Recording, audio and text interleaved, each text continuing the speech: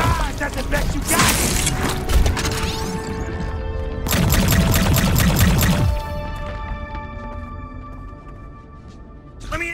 Oh God, this feels amazing.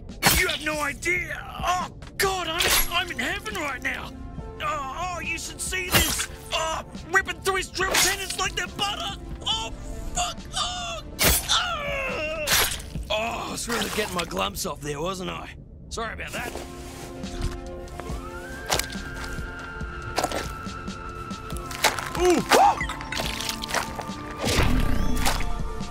Hey, bud, the name's Gus. Feel good to meet you. Look at you, man. Pretty slick taking out Krubis like that, rescuing me from indentured servitude, etc., etc. I love that kind of stuff. No, I, I love that. That's kind of stuff I love, man. Do you mind if I tag along with you for a bit? I, of course. I, that's what I was hoping you'd say. We can use your help.